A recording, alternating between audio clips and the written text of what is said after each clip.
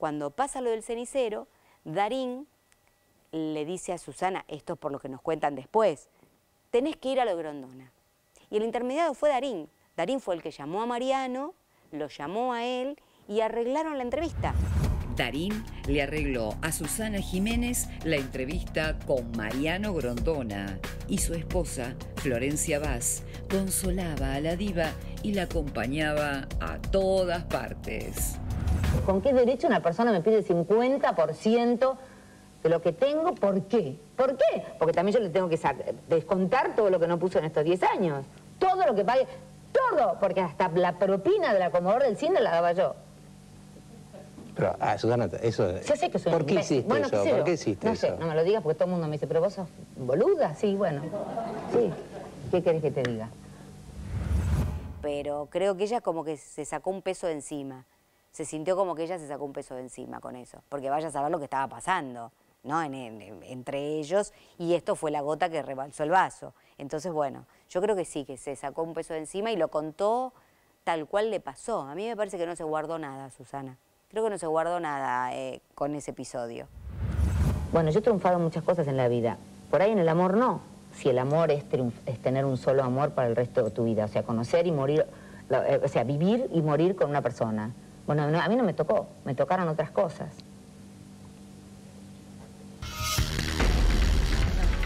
Muy bien. Eh, Fascinante. Acá no solo te contamos la versión al rumor, sino que te hacemos escuchar los testimonios. Es maravilloso lo que cuenta Miriam, hoy productora de Invasores. Miriam, que fue productora de Mariano Grondona. Claro, histórica. Un gran baluarte de esta América TV. Productora junto a Alicia Pedrelli, Sol Grasso, Lali Genel, Daniel Montoya, Pablito. Toda esa gente que rema y rema desde la invisibilidad, pero que están todo el tiempo eh, recabando información, cotejándola. Entonces es la propia Miriam la que cuenta de qué manera se pergeñó lo que era la primera nota a solas de Susana Jiménez. En el medio de lo que era un escarnio público, sí, claro. un escarnio público, es Darín quien le sugiere, debido a lo que había vivido él, porque él también estuvo con el tema del contrabando de coches Y el Mercedes de Susana, porque nos falta el episodio Tenía que explicar un tema que era más de Cacho Steinberg de, que de ellos dos que se vieron envueltos como una serie de famosos. Este, hasta que se aclaró la historia, Darín se sintió cómodo con Grondona y le dijo a Susana, ¿por qué no vas a lo de, a lo de Mariano Grondona? Se pone en comunicación con Miriam y es Miriam quien propone y finalmente autorizan, aunque estuvo en tela de juicio.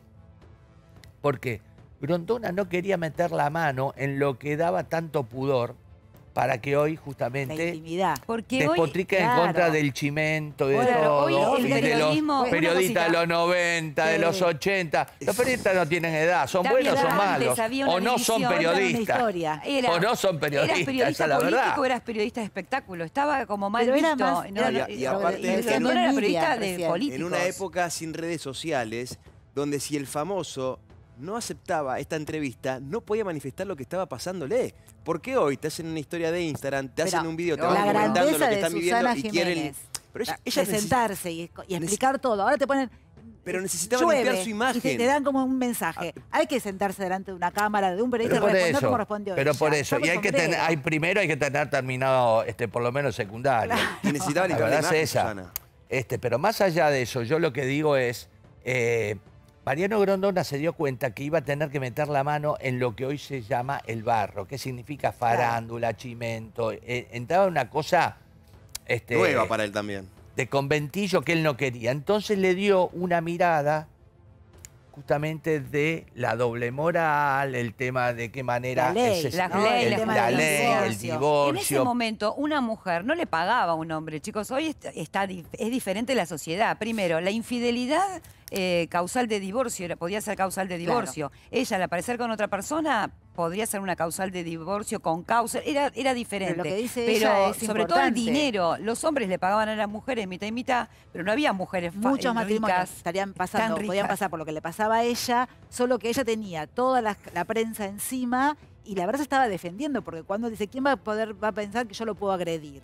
Y que él y dice, no, le, no, le, no se tenía el cepillo de dientes, le, no dejaba ni las propinas. Por eso la historia fantasea en la historia, de- en, en la primera historia que sale, digamos, al ruedo, es la historia de- del chimento. Es decir, el cenicero, Claro. que no era cenicero, y la caja fuerte, que según Susana no era caja fuerte porque ella dice que dejó, Ah, no bien. creo que haya Sí, dejado sus contratos arri- arriba de la mesa, pero, pero vos fíjate cómo va cambiando, pero que el chimento no estaba tan lejos de lo que era la realidad. No. porque era Es decir, parte... porque, Era eran periodistas. era porque eran periodistas. Es que no aparte- ahora que levantan de un chat o levantan de cosas que vos tenés que ir después a chequear si es de la persona que dice Eso que es. decir que y no después si es cierto. Es decir, acá te lo tiran al aire alegremente leyendo el chat. Había un más. trabajo de investigación y al mismo tiempo ese trabajo de investigación generaba después otros capítulos que, como vos remarcabas recién, Luis, ayudaban a contar una historia de verdad.